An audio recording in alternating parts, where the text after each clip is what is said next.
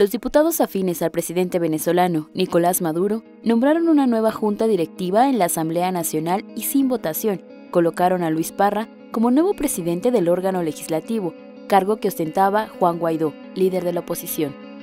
Los diputados opositores, entre ellos el propio Guaidó, no pudieron ingresar al recinto, ya que la Guardia Nacional Bolivariana bloqueó el acceso de los representantes que se oponen al gobierno actual. El Parlamento, en el momento en el que se instauró la Junta Directiva, no contaba con el quórum que exige su normativa, por lo que se trata de una falsa directiva, afirmó la cuenta oficial de Twitter de la Asamblea Nacional de Venezuela.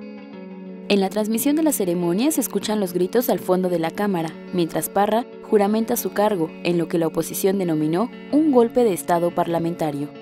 A las afueras de la Asamblea, los representantes forcejeaban con la Guardia Nacional, y al saber que se implementó una nueva junta directiva, precedieron a retirarse del lugar para organizarse.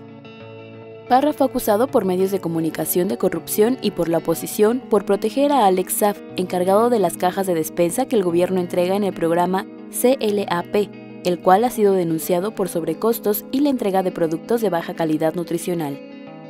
Por la mañana, Guaidó informó en su cuenta de Twitter que acudiría a la Cámara para ratificar la lucha de toda Venezuela, y una hora después informó del bloqueo que no permitía su entrada.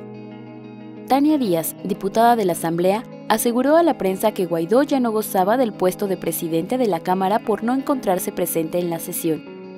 José Brito, también integrante de la Cámara, aseguró que Guaidó abandonó por completo sus tareas parlamentarias para consolidar una estructura de poder personal.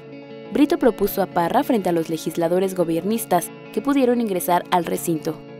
Guaidó obtuvo la presidencia de la Asamblea el 5 de enero del 2019 cargo desde el cual el 23 del mismo mes se declaró presidente encargado de Venezuela.